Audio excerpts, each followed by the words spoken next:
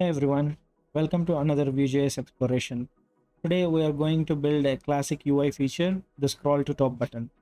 But we won't just build it, we'll go deeper and understand how Vue concepts like mounted, unmounted and ref help us to create components that work seamlessly with any web application, no matter how complex.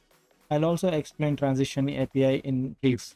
So, our goal in this video is to have a button that appears when user scrolls a certain amount of distance. And on clicking that button it takes the user back to the top of the page with a smooth scrolling. So uh, let's go to the project and build the ui first. So here is my project. It's a blank vue.js project. I only have vue.js and then i install tailwind css for styling. Tailwind css is not mandatory but it's just my preference you can use any other framework or just a normal css and i've changed the source directory. I've deleted all the boilerplate code and i just have app.vue main.css with tailwind and then main.js with css imported and app instance created by default. Before creating the scroll to top button uh, we need to have a scrollable page so what i'm going to do is to create uh, three div elements with height of screen for each element. Let me design it. So here are the three div elements. Let me close the sidebar. So I just gave the names top, middle and bottom. And I gave the height of screen for all the three elements. And I just gave the text of 9XL and I'm centering it with different background. If I save it, you can see on the left side we have top, middle and then bottom. So now we'll create the scroll to top button. In the source let's create a folder called components.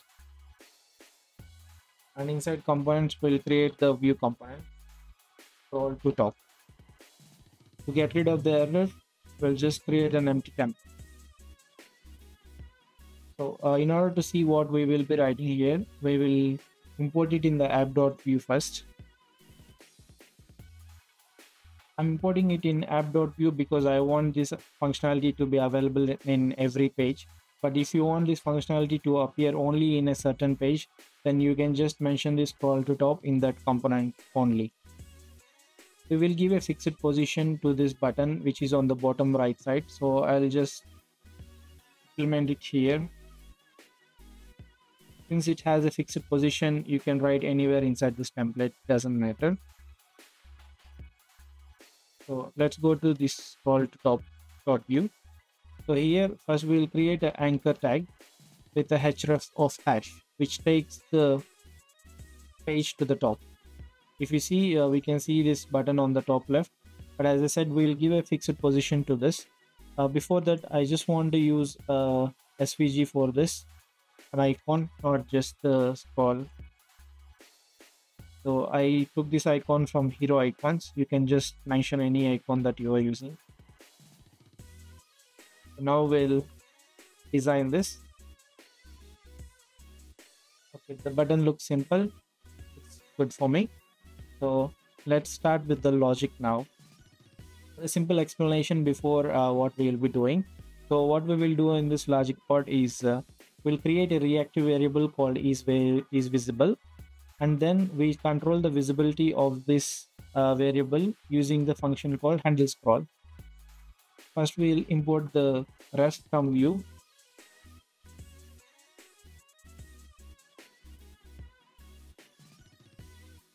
now we'll create the variable using the ref. Once is visible. For its ref of false. We'll give this by default a negative value so it doesn't appear and only when we scroll it appears.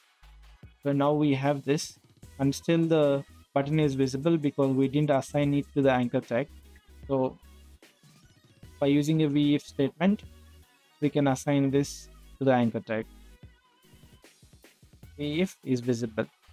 So now if i save it that should not be visible in the button. So it dis disappeared as we expected. Now to appear after we scroll a certain distance, we have to create a function called handle scroll. What we will do in this handle scroll is we will get the current scroll position using the page offset property. then we compare it to the threshold that we will keep like how after how many pixels we want this button to appear and once we scroll past that button that distance then we will make the value of is visible to true and that will make this anchor tag appear so let's see it in action. We'll check first if the page offset is greater than 500 page y offset is greater than 500 pixels. Then we need to change the value of is visible to true. So for that is visible dot value equals true. Else if it is not greater than 500 then is visible dot value equals false. Now this function is there but it doesn't work because we didn't trigger this function. Here is where i want to introduce the concepts of on mounted and on unmounted we can actually achieve the functionality that we want. Now itself just by assigning this handle scroll to anchor tag using a click event but uh, that's not the best approach for this because when we have more features or if you're already on working on a different project this functionality might in conflict with other parts of your application. If you have uh, any other scroll events or other type of events that are linked to this component. So we will mount this component and unmount this component properly. So we will uh, add and remove these event listeners in the right time so it doesn't conflict with any other in your code base. For that first we'll import the on mounted and on unmounted so on mounted when on mounted we want to add the event listener. When window dot add event listener. When and we are listening for the scroll event. We'll write scroll and when it listens for scroll we'll trigger the handle scroll function the same way when the button is disappearing we will use the on unmounted and remove the event listener.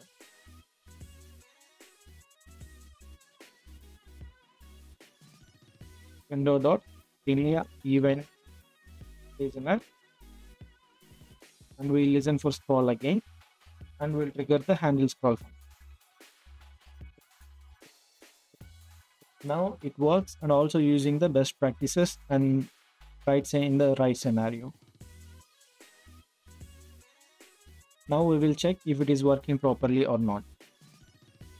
So we scroll down and we can see this button appearing and we scroll up and it is disappearing.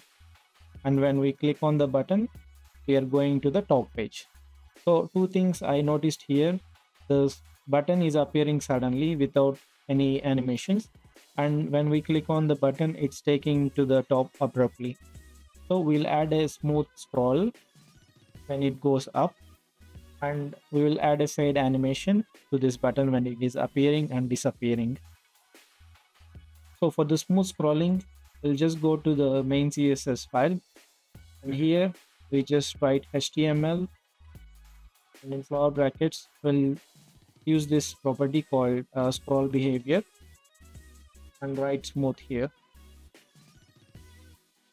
We save it and now if you go to the bottom and like press this button you can see that it went to the top with a smooth scrolling or not directly to the top. So this is figured out. Now uh, let's check the fade animation for this so for this fade animation i'm going to use the transition api by vue.js so we are not using any external libraries for this animation so how we are going to do this is by wrapping up this anchor tag with the transition component that is provided by Vue.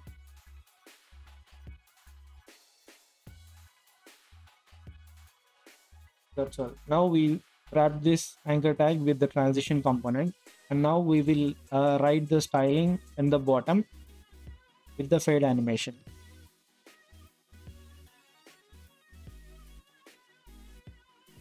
So we'll have a style which is scoped only for this page the scope means whatever the animations that we write here it is applicable only to this component and it does not go for other pages so uh, to explain transition api in briefly uh, it provides us six classes. So it works in a concept like this.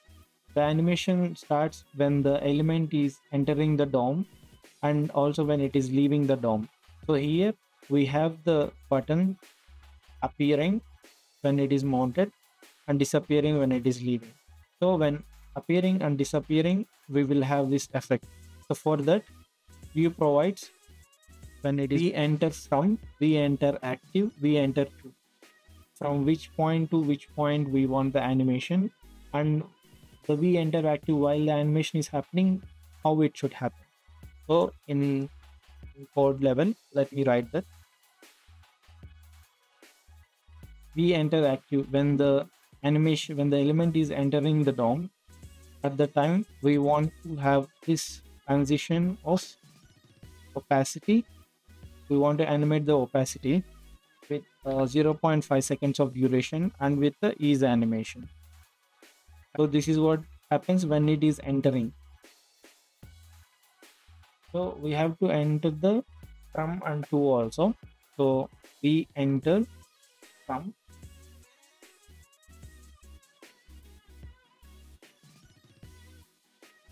opacity 0 so it enters from an opacity of 0 and it goes to opacity of 1 by default any element inside the DOM will have an opacity of 1 so in this case we don't need to write v-enter to opacity 1 because by default the opacity is 1 in the element so now if we save this when the button appears it appears with a fade animation I'm sure you noticed it. When when it is disappearing, it is disappearing like fast, but when it is appearing, it's coming with a slow fade animation. While it is leaving also, we want this animation to happen. So for that, we have this class called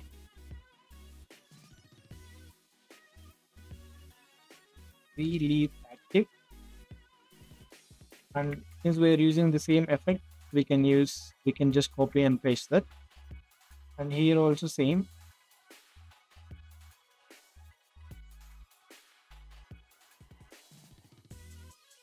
v-leave to when the element is leaving we want to have the opacity of 0 so now while entering it is entering from opacity of 0 with the speed of this and while leaving it is the opacity is going again from 1 to 0 with the speed of now if you see if you check the website it appears with fade and it disappears with fade so a small refactoring in this style scope since we are using the same here. We don't need to write two times. We can just copy this copy and put a comma here and then paste there. And copy just delete these three lines. So now copy. we have while entering and leaving we have same transition the same here.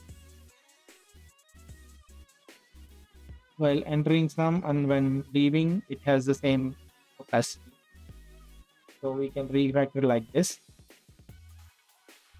So that's all like we have a button that falls to the top with a smooth animation and appears with a fade animation and disappears with a fade animation.